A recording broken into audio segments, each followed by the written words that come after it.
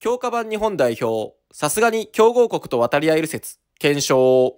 特殊カードサッカーゲーム FIFA では自分だけの夢のチームが編成可能な FIFA アルティメットチームというモードが存在。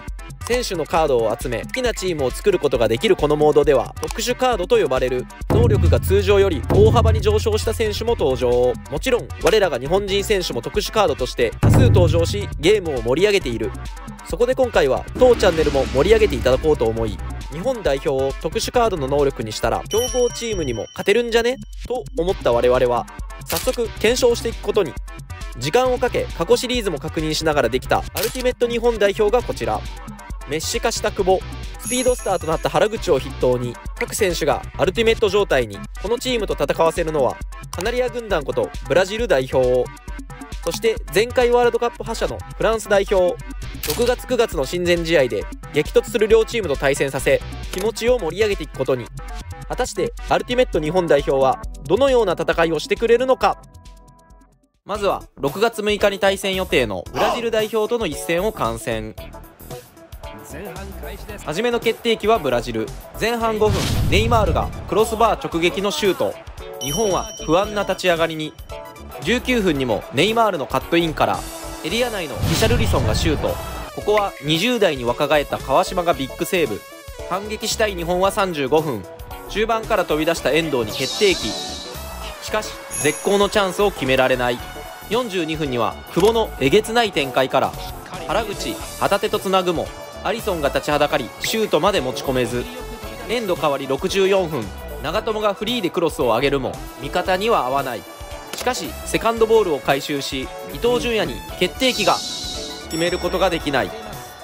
その後は82分85分と川島に見せ場が訪れ0対0のまま試合は終了。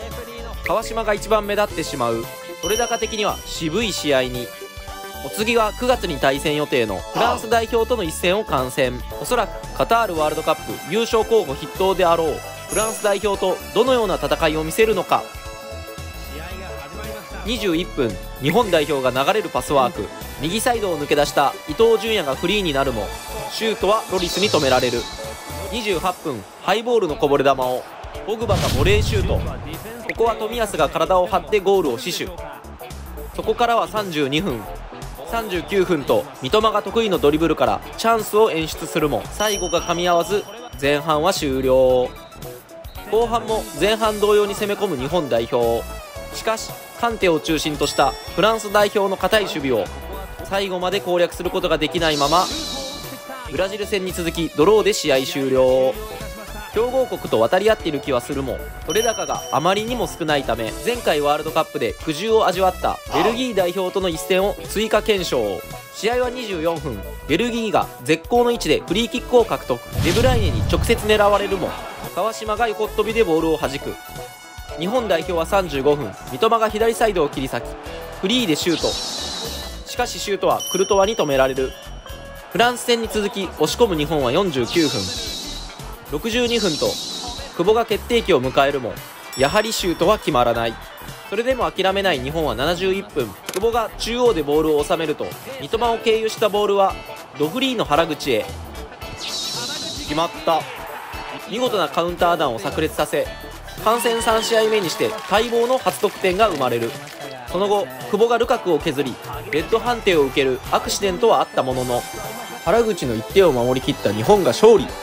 因縁のベルギーを撃破することに成功する。ブラジルフランスと引き分けベルギーに勝利したので説立証なのだが3試合1得点ではあまりにも寂しいのでおそらく大量得点で勝てるであろう中国代表と最後に戦わせることに。試合は開始5分久保があっさりネットを揺らし陣営が期待した展開を予感させると33分に冨安がカンフーキックを受け帰化選手のエウケソンが一発退場。試合はより日本が有利な状況に。すると前半アディショナルタイムに久保が2点目。後半の17分には伊藤のクロスから三笘。ダメ押しは試合終了間際に伊藤の折り返しを途中出場の前田が押し込み4対0の快勝を見届けたところで検証結果。この強化ジャパンを使った企画募集中です。でした。高評価チャンネル登録よろしくお願いします。